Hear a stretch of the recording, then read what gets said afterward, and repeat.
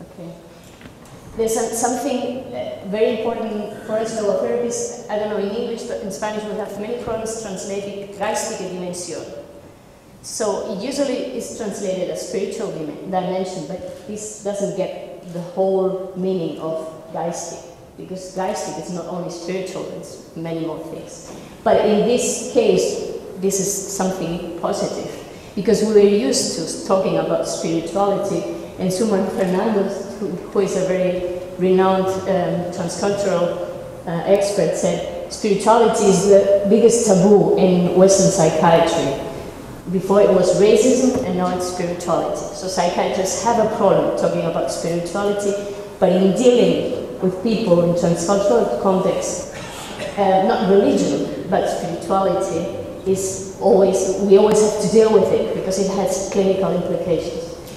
El problema que tenemos para traducir la dimensión, la geistige dimensión, la dimensión noética, que aquí en general se traduce como espiritual, sin embargo, el contexto transcultural nos ayuda porque estamos acostumbrados a hablar de eh, esta dimensión espiritual en el ser humano que según Suman Fernando, que es un gran experto en transculturalidad, es el gran tabú de la psiquiatría. Hablar de lo espiritual, pero en ciertos, para, para algunas personas lo religioso, no la religión en concreto, pero sí lo religioso, es un tema que hay que abordar porque tiene implicaciones clínicas para la persona, en cuestiones como pertenencia, como traspaso generacional, identidad. Por eso no podemos huir de una dimensión que para el ser humano es importante, pero eso generalmente en, en muchos ámbitos psiquiátricos es visto como un, como un tabú. Next one, please. Cada vez la letra es más chiquitita.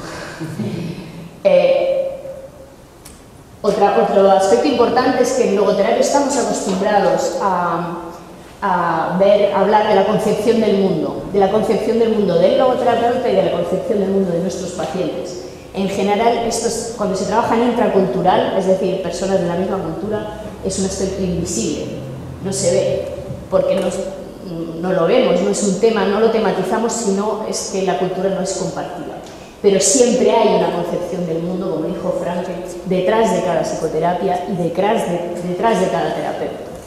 En logoterapia estamos acostumbrados a trabajar desde ahí y a preguntarnos primero a nosotros mismos cuál es mi concepción del mundo y luego a trabajar con del paciente, sin darla por supuesto.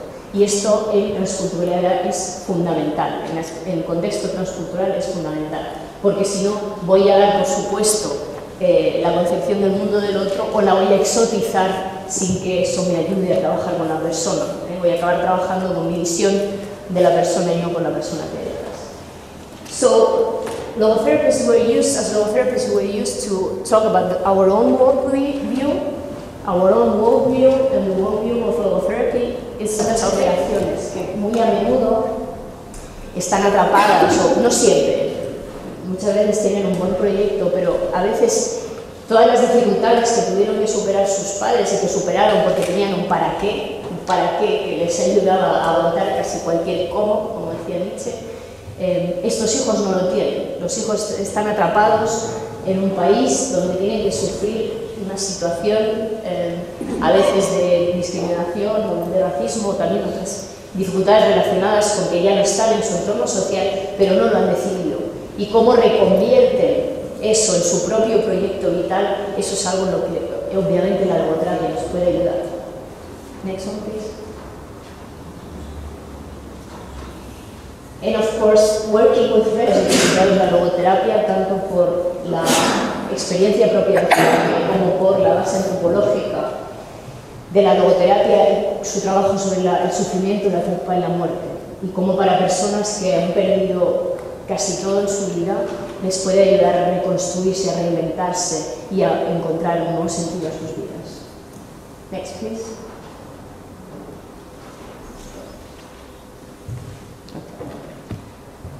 Vi como hablaban de víctimas como personas deshumanizadas y como agresores que deshumanizaban al otro. Por supuesto, desde la logoterapia esto es un contrasentido, porque nadie puede quitarle la humanidad ni la dignidad a un ser humano.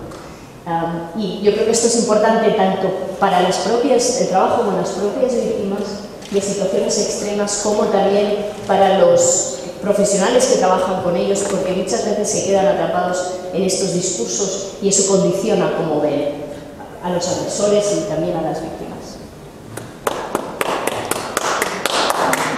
No he acabado, pero... Pero eso es muy bueno. Next one, please. Okay. Another important thing que nos acerquemos que sea más fácil el acercamiento a culturas sociocéntricas donde no es el individuo y su bienestar lo principal. Aunque la logoterapia esté centrada en el individuo y en su proceso, es evidente, pero este énfasis en el autodistanciamiento hace que sea más fácil el acceso a, a culturas sociocéntricas. Next one, please. Okay. Uh, one very important thing is uh, that we have to deal with our own prejudice and with our own racism. In transcultural context, we are used to saying that we are all racist. That's normal. We only have to be aware of it and not let that interfere with our work. And Frankel's uh, emphasis on against collective guilt can help us in remembering that we can never view a person as a member of a group, but we always have to see the person behind the group to whom he or he belongs.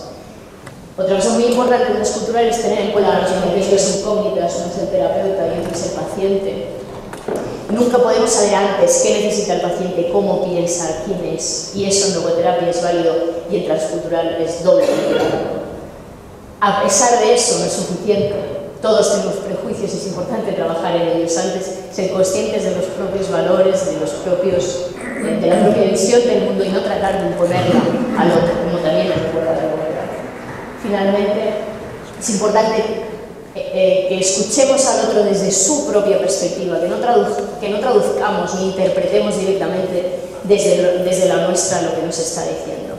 And since I'm moderating this,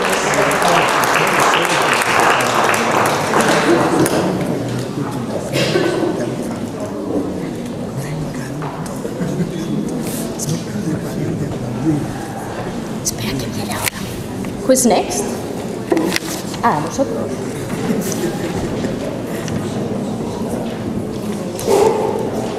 Vosotros.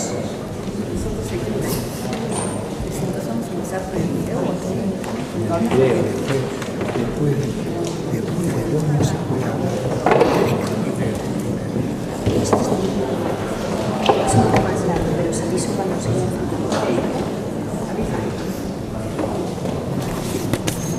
Me dan ganas de decir amén. El video. El video. El video del cristal.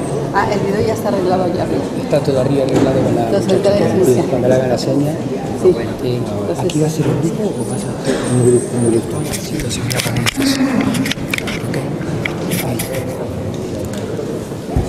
Puede ser. Entonces, con el video, nos presentamos como.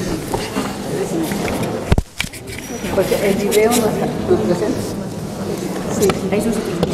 Bueno, entonces Hay, nos platicamos de cómo nos- hay como una contradicción en este momento Jerónimo. Si hiciera lo que, lo que realmente quiere, tendría que decir que nos quedemos en silencio meditando lo que dijo Cristina. Eh, Pero no tenéis tiempo. pero, pero un pedido es que